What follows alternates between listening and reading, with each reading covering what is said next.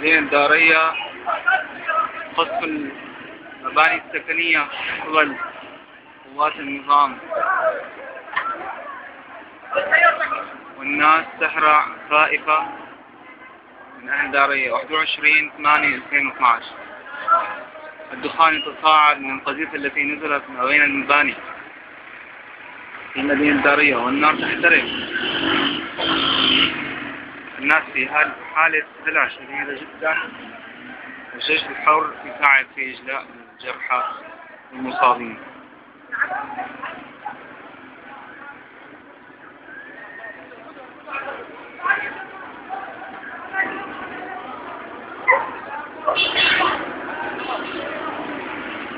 Thank you.